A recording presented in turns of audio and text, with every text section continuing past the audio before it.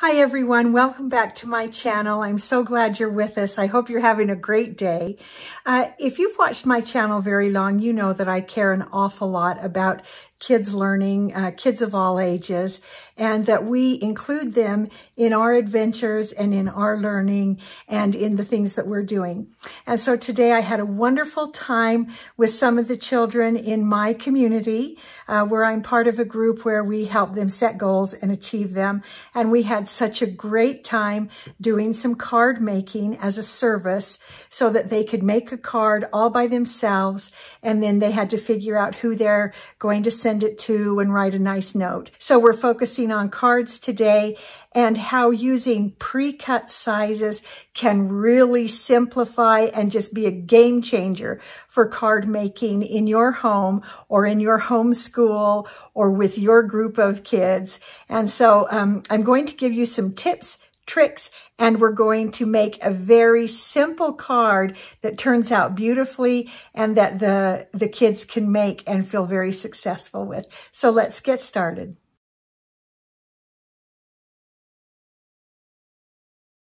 Okay, so to get started, let's talk about pre-cut sizes of things because I'm telling you, if you will pre-cut some things and just take a little time before you get your kids involved, this will save so much time and make things easier. And so one of the first things I do is I pre-cut the folded card. And so I have mostly white and some black and then some colors that are assorted.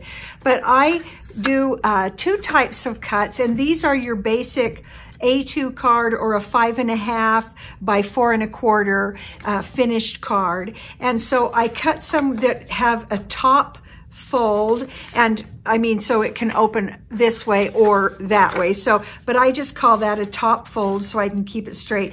These are all top fold and then I get into oh let me lift this up so you can see I have them labeled.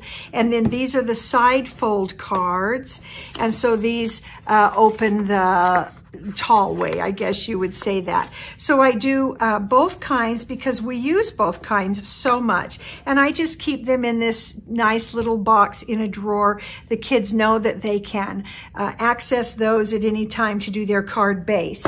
Now let me say something about the paper. I have used all kinds of cardstock and I don't know if you can see on camera, but this is my favorite cardstock. This is called Neenah White and I will uh, link sources for these things in the description below, or you can go to my blog at blog.mbbailey.com and you'll get more, uh, you'll get the links and you'll get uh, pictures and a little bit more detail. But I don't know if you can tell the difference this is actually a different cardstock that I tried, and I don't know if you can tell the difference in color between those. This actually comes out pretty gray, and this is just that nice, bright white cardstock. This is Neenah, uh, I think it's just white, Neenah White, and this is 90 pound. I have uh, since got Neenah White in 110 pound, and I even prefer that. And so um, you can use any cardstock, but sometimes that nicer cardstock just adds uh, just an extra that to the card. And the Neenah White really is not uh, much more expensive than the others, but I will put uh, sources for all of those.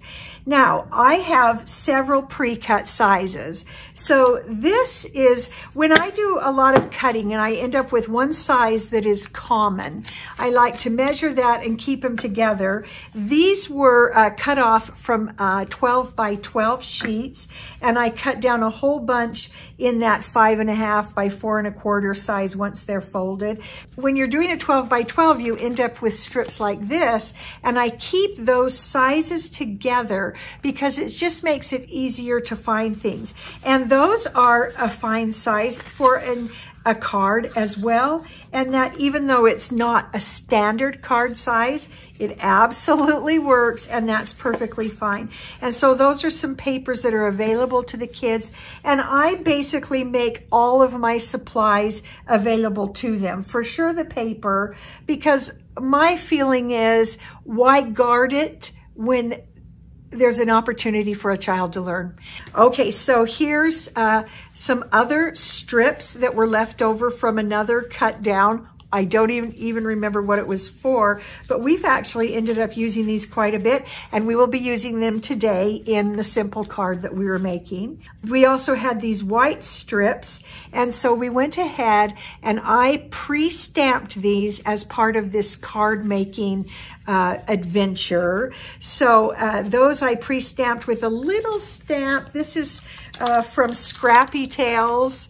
I just, this is, this goes along with the florist shop. And there's this little stamp that says, thinking of you that just fit so perfectly on the ends of those strips. So in just a second, when I make the card, I'll show you how we use those. Now, for pre-cut sizes, I have three sizes beside, besides the ones I showed you that uh, have the, you know, the folded openings. Uh, I have three sizes that I cut. This is the eight and a half by five and a half. So basically, you're taking a eight and a half by 11 sheet and just cutting it in half.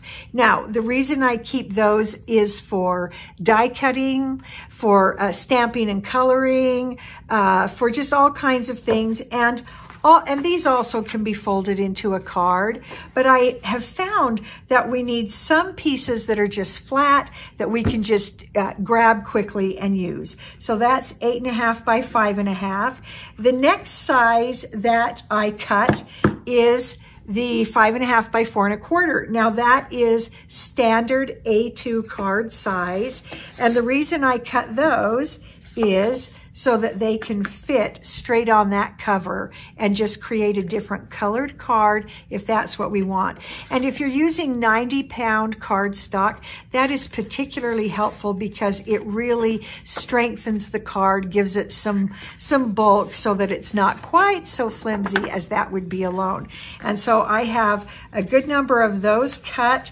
We used those today and I'll show you a little bit more about that in just a second. The the other size I cut is five and a quarter by four.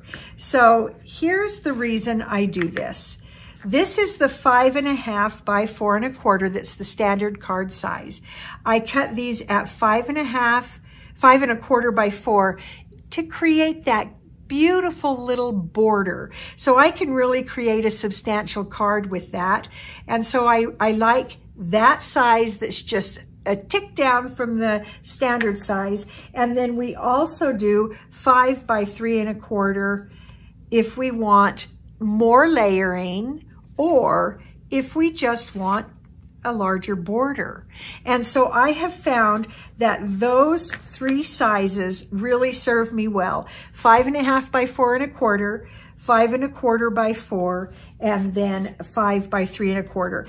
And I keep those on hand pretty much all the time. If I have a scrap of paper that I've used, uh, I've done some die cutting with, I try to cut what's left into one of those standard sizes.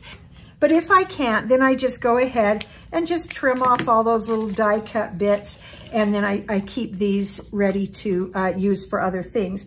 But if I can get paper cut into those sizes, I do it because it saves so much time when it's time to create the card. Okay, so I'm going to clear this up and then I'll tell you a little bit about adhesives, which ones to use with kids, uh, and uh, how to make that whole process a little bit easier. So uh, you all know school glue. This is an excellent um, glue to use with kids. They're familiar with it. It's small enough they can manage. It doesn't get out of hand. And in fact, when I am working on cards with kids, particularly a group, that is my favorite one. I do recommend getting a good quality glue. I like the Elmer's glue uh, because it works. It sticks down. Uh, and it also is easy to wash off the table. And you know, with kids, sometimes that's an issue.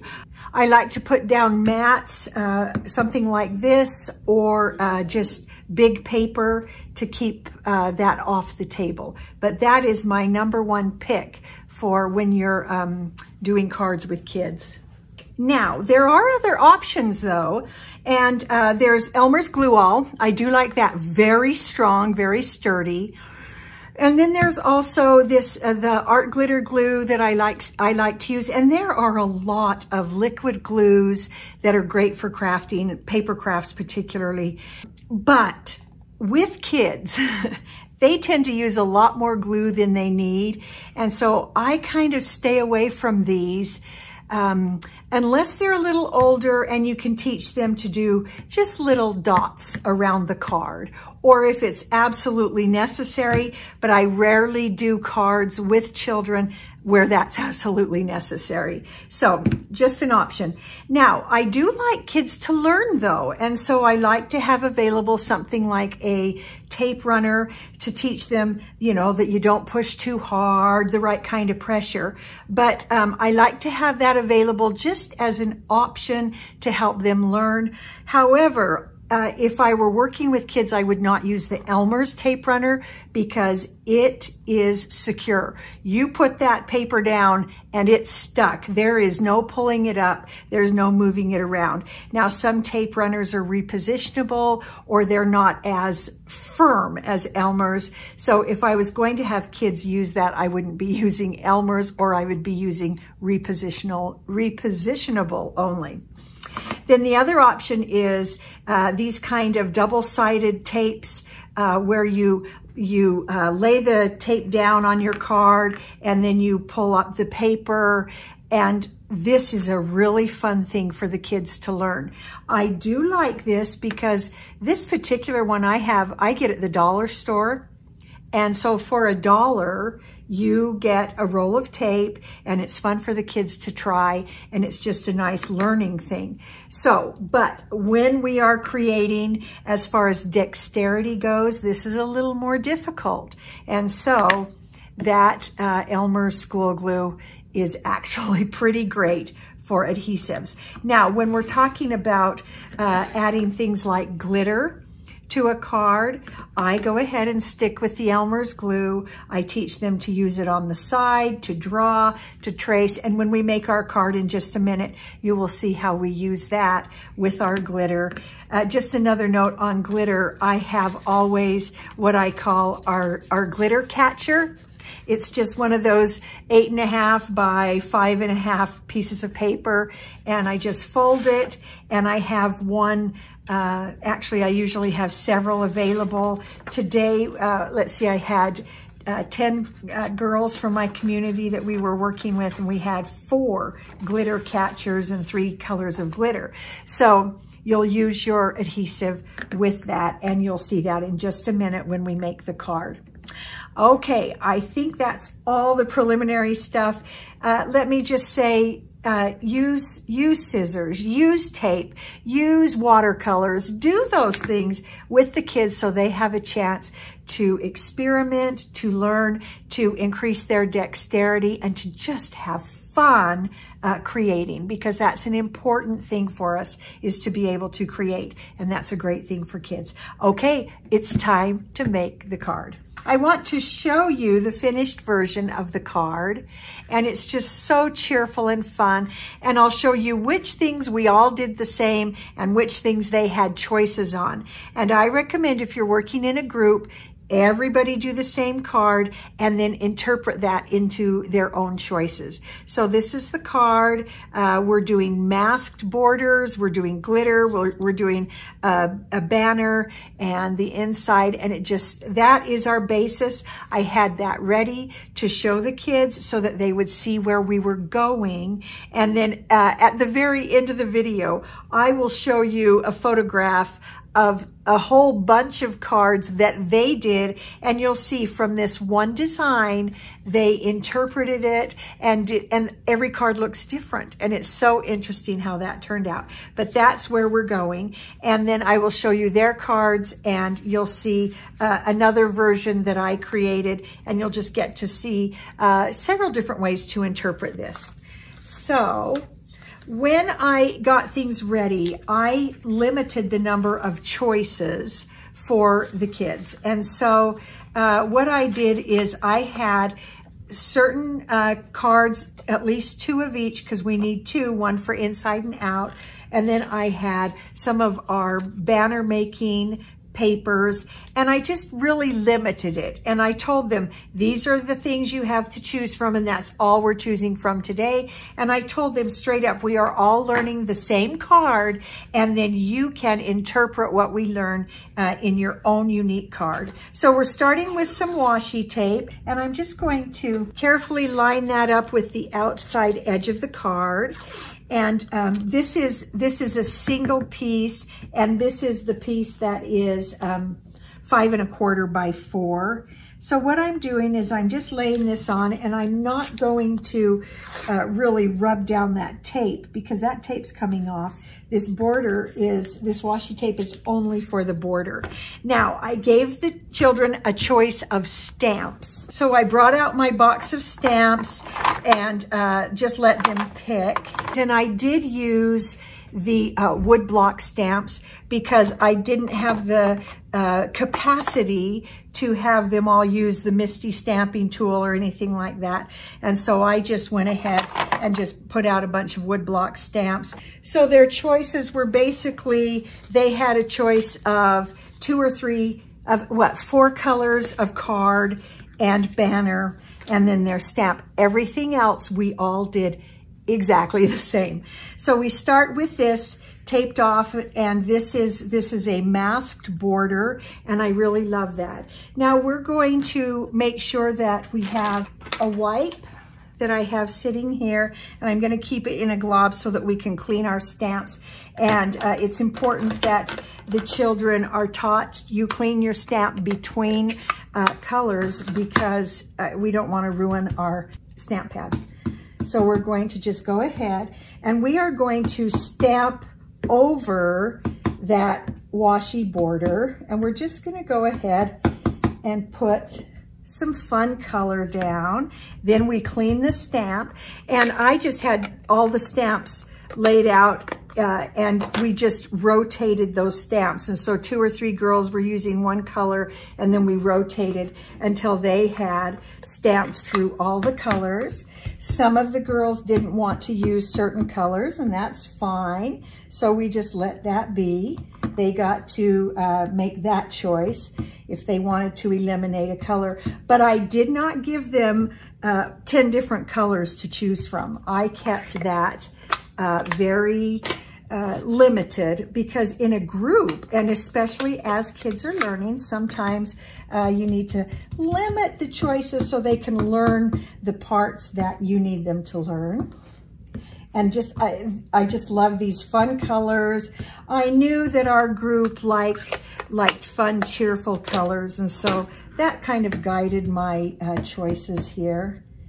And they don't have to fill every white spot and they can overlap like that. Okay.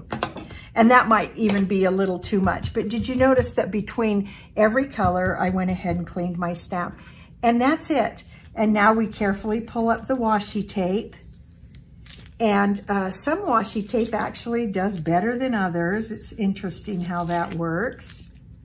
And um, I have found that the Neenah cardstock is really smooth and does better with this kind of washi tape application. Now we're done with the stamping, so simple, and it's just fun because uh, that stamping just created the fun border. Now we're going to go ahead and mount that onto our uh, card. If we're working at my counter, uh, I usually just let them work on the counter because I can easily clean the glue off of that. If we're at the kitchen table, I put down a, a mat that I have made or paper because uh, it's just a little harder to clean off of wood than it is to clean off of a, uh, a granite countertop or formica. There. So we're putting glue everywhere. And then I like to kind of stand this up. And I do like glue also because you can kind of fiddle with it for a minute, position it until it dries. Okay, there you go.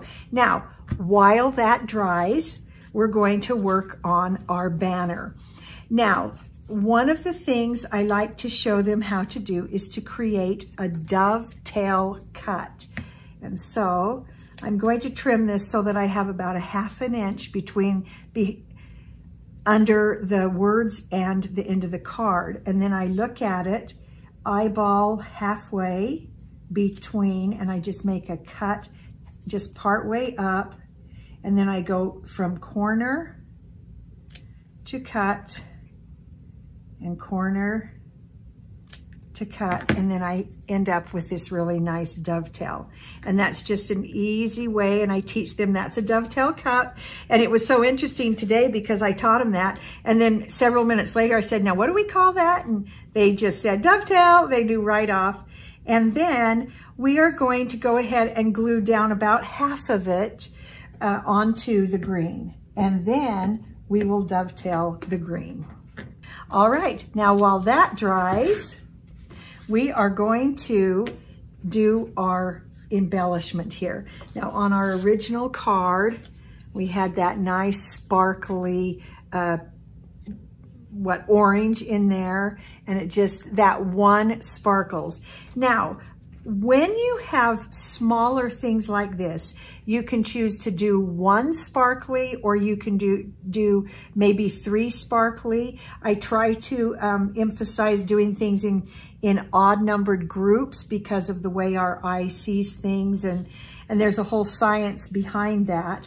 So what, what I'm going to do is get out my, my glitter catcher and I'm going to use the clear uh, glitter and I'll have sources, even if the brand I have doesn't exist anymore, I'll have sor sources linked below to find all of this.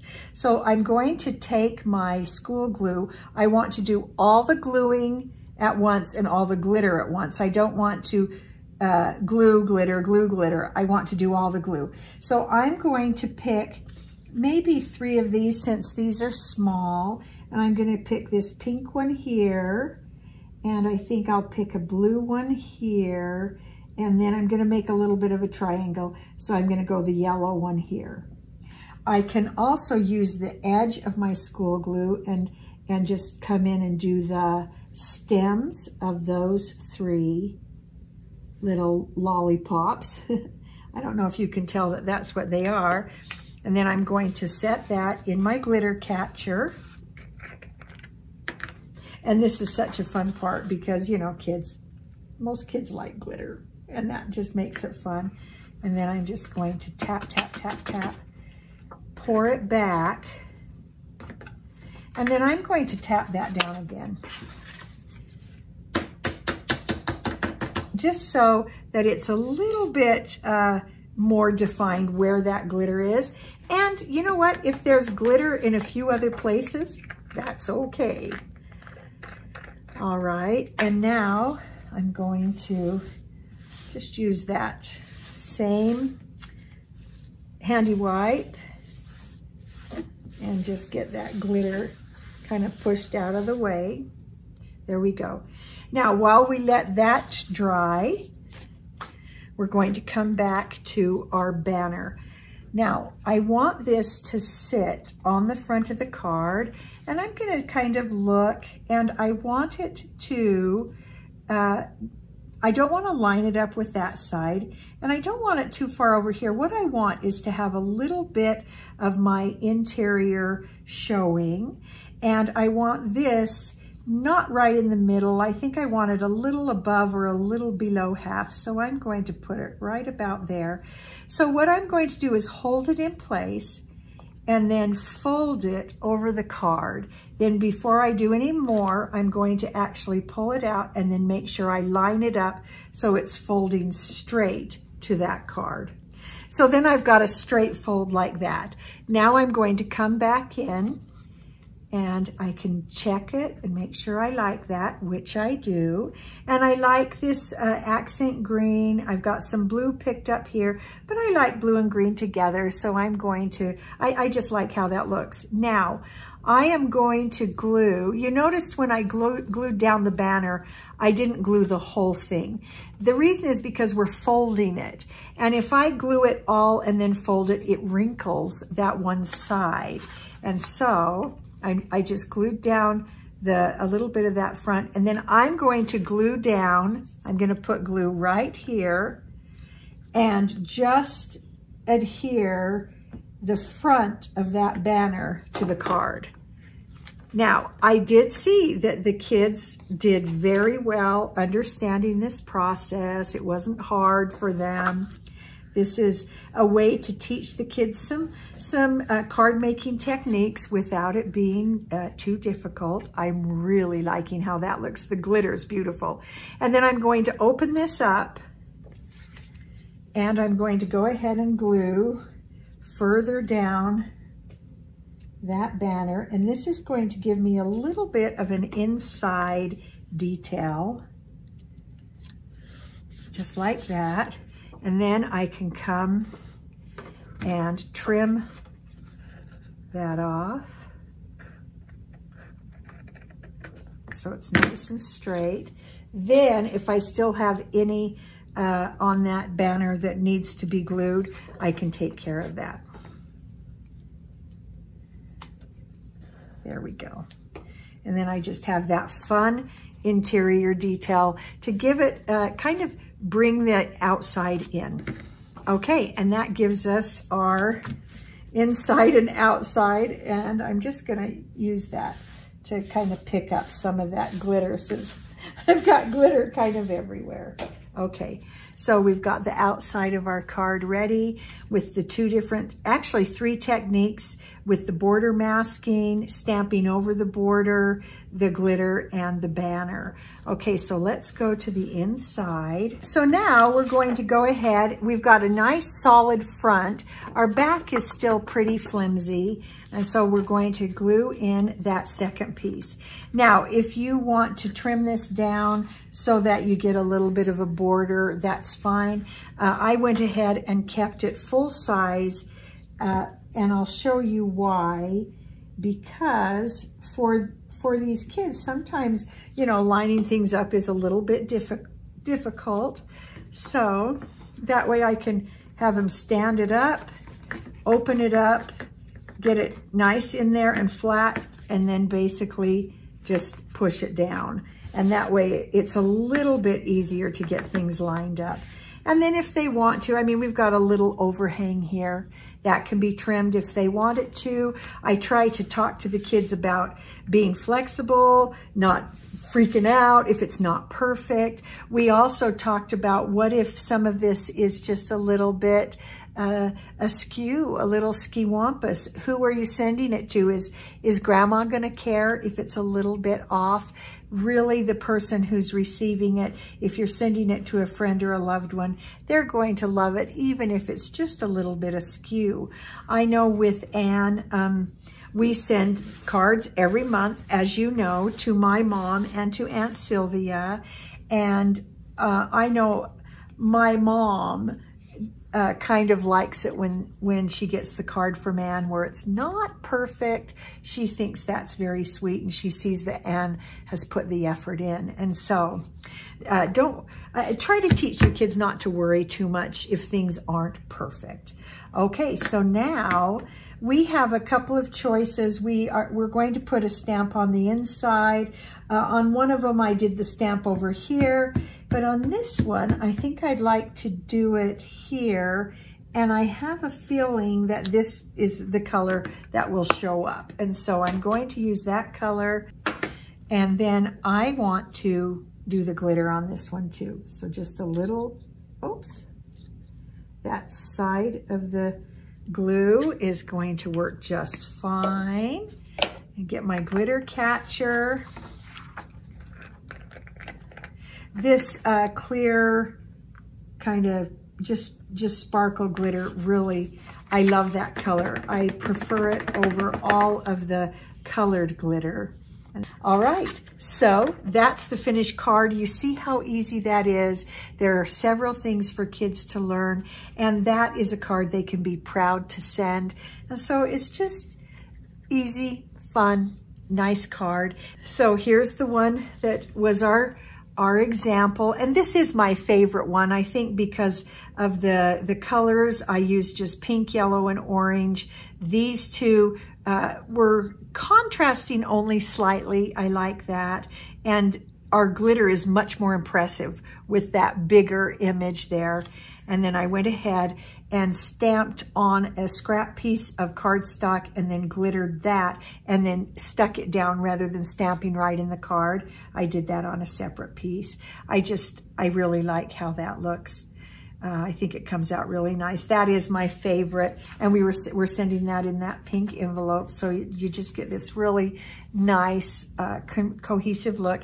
Here's the other one. Now, when I was making mine with the kids, um, my washi tape really stuck down to that background paper. And so I actually trimmed it off. We talked about several ways to deal with that. I trimmed it. One of the other kids did some extra cardstock at the very end to cover it up. Some liked it that way, so we went with just all kinds of directions with that. This is a little snow cone. I have one snow cone with the glitter, the same banner. And then on this one, some glitter got in it. And so it's kind of fun. But I decided to stamp over here and, and give that some glitter. So there are just three different ways, very same thing, but, but a few different variations on them. That's going with this. Let's take a look at the photo of the all of the cards that the kids did and you'll see so much variation and they all kind of learned something uh, a little bit different. And uh, the goal is now to go home, write a special note to someone they love, and then get that card in the mail. And that's the beauty of a card. Simple, easy to make, and quickly in the mail, bringing someone joy.